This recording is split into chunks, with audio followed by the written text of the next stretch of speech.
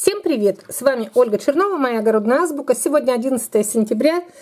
И вот сейчас я поговорю еще об одной новинке в моем каталоге этого года. Это под номером 205. У меня в этом году появился томат юсуповский. Я давно о них слышала, ну, как-то, ну, не приходилось мне выращивать, потому что, во-первых, я побаивалась, что они все-таки узбекские томаты, ну, как с теплых стран, вдруг не вызреют, тем более они огромные. Но в этом году посадила первый раз, не пожалела. Размер этих плодов и вкус поразил меня. И вызрели они у меня прекрасно. Не вызрело всего два томата – и обратите внимание, даже те, которые не вызрели, которые завязались в последнюю очередь, сформировались, они тоже огромные. Но так как я выращиваю их впервые, и я не могу сказать, что я знаю все на зубок об этом сорте, я сейчас хочу прочитать вам коротко информацию ну, о нем общеизвестную, официальную, которая дается в интернете. А потом мы вернемся к моим плодам, я разрежу, и мы посмотрим мякоть. Во-первых, я его хочу взвесить, последние плоды. И главное, что мелких-то нет, они все крупняшки. Единственное, что два плода, они треснули, и вовремя не сняла, немножко начали загнивать. Но это мое упущение, потому что я вовремя их не сорвала. Но нет ни одного порченного или гнилого, или какого-то с темным пятном. Все они такие добрые. Мне что нравится, что они прям такие, на них приятно посмотреть. Огромные лапти. Все, сейчас посмотрим информацию о них. Потому что, еще раз повторю, выращиваю я впервые и сама только знакомлюсь с ним. Первый раз в жизни увидела живой юсуповский томат. Я сразу скажу, что перед тем, как посадить этот томат, я немножко побаивалась. Вдруг он у меня не вызреет. Все-таки я информацию о нем прочитала, и я увидела, что он с Узбекистана. Вот смотрите, написано, есть среди множества томатных сортов такие, которые становятся легендой. легендой. К таким сортам относится томат Юсуповский из Узбекистана.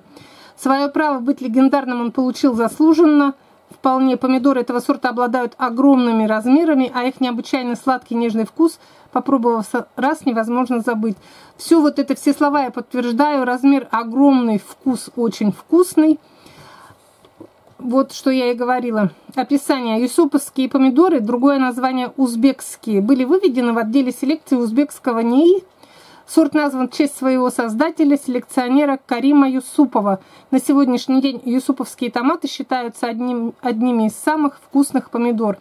Вот это именно те томаты, которые не гибриды, не современные, а вот те, которые, ну я не скажу, что старинные, стародавние, а именно вот такие наши классические традиционные томаты, которые, мне кажется, нужно сохранять и нужно их выращивать из года в год, чтобы наконец-то гибриды не заполонили наши садовые участки. Растения относятся к группе с поздними сроками созревания плодов. Первые помидоры готовы к употреблению лишь в конце лета. Я сначала удивилась, что да, так поздно, но вот видите, у меня сейчас сентябрь, они еще только спеют, и еще даже две помидорки не поспели. Но он поздний сорт, во-первых. Во-вторых, у меня сибирский регион, возможно, весной ему не хватило тепла но все-таки он способен и в сибирском регионе дать спелые плоды на материнских кустах. Предпочтительные условия выращивания тепличные. В теплице ему, к сожалению, места не хватило у меня. Юсуповский сорт выносливый, нетребовательный, устойчивый практически ко всем заболеваниям посленовых, характеризуется обильным длительным плодоношением до самых холодов. Наверное, если бы я не убрала свои помидоры, а он действительно был бы до мороза. Потом факт. В России сорт юсуповский можно встретить редко, семена в магазинах не продаются. Распространен этот сорт в основном среди увлеченных томатолюбов, которые с удовольствием выращивают эти южные томаты и делятся с ними. Вот мне прислали, тоже я получила от частного лица, не в магазине. В магазине я не видела этот сорт. Растение исоповских томатов считается индетерминантным, однако в открытом грунте высота кустов редко превышает отметки в 1 метр, в тепличных условиях растение вытягивается до полтора метра чуть выше, поэтому можно считать, что этот сорт полудент. вот они, красавицы. Если кто не выращивал сорт юсуповский, обязательно посадите, вырастите. Я в этом году прям это ну, в приятном таком удивлении от него. Растениям характерно наращивание обильной зеленой массы, листвы много, кистей завязывается до, 5, до 6-8 штук, все щедро завязывают, богато цветут, короче, так, так, так. Нужно обязательно формировать, соблюдать схему посадки на одном квадрате не более трех растений. Огородники, проверившие на себе рост растения юсуповского сорта, рекомендуют в конце лета прищепнуть верхушку куста, чтобы остановить его рост. Чем так запоминается исуповский сорт, так это удивительными плодами. Необычно они во всем. Во-первых, сразу поражают огромными размерами, меня тоже поразили.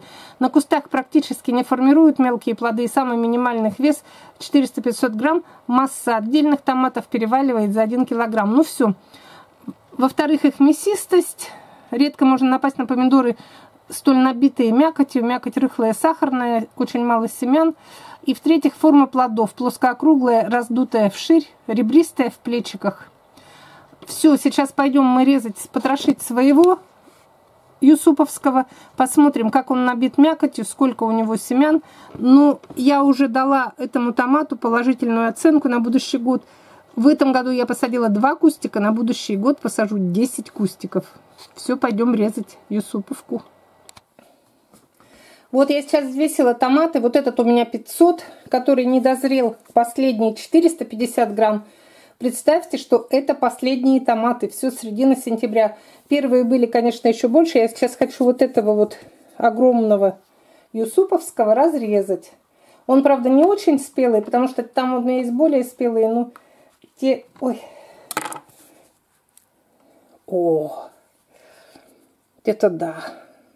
Смотрите, какой красивый разрез. Сейчас я отделю их. Видите, по томатному мясу вот здесь вот такое алое зарево расплывается. М -м -м. Сейчас я буду не этот попробую, а другой, потому что этот я хочу сфотографировать на память для красоты.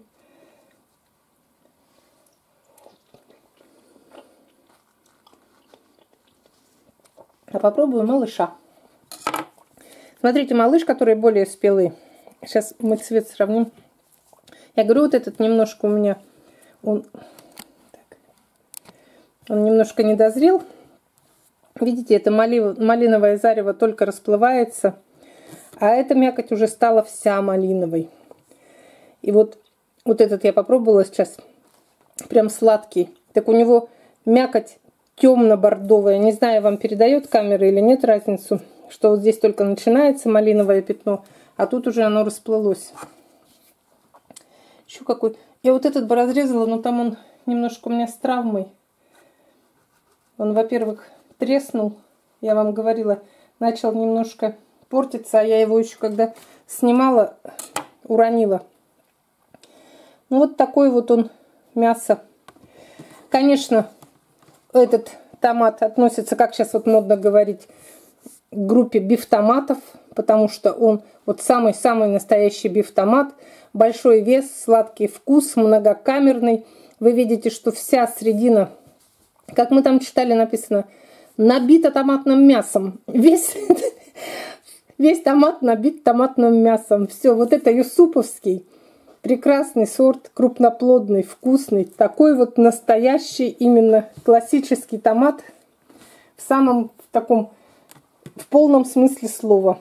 Все, до свидания. Я очень довольна им.